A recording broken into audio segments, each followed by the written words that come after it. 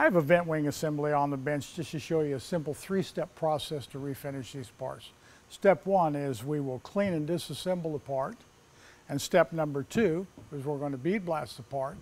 And that'll prepare it for step number three, which is we will paint the part and that'll seal the metal. Now look, I can't put this back in the car. There's just too much rust and corrosion. Besides that, it doesn't work properly.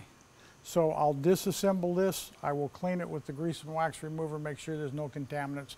Because when I put a part in the bead blast cabinet, I don't want my glass beads contaminated. It'll drive it into the metal. Now the glass beads do a really super job of etching all of the rust back out of the part. And that gives me a great surface to paint back on. Because when I apply the paint coating on it, it'll seal the metal. There's no rust in there, and this will last for a long time. You notice I've also taken the time to do all the small parts because when I put this back together, what I wanted to do is be just as easy and adjustable for me as possible when I build that car. That'll keep me out of trouble.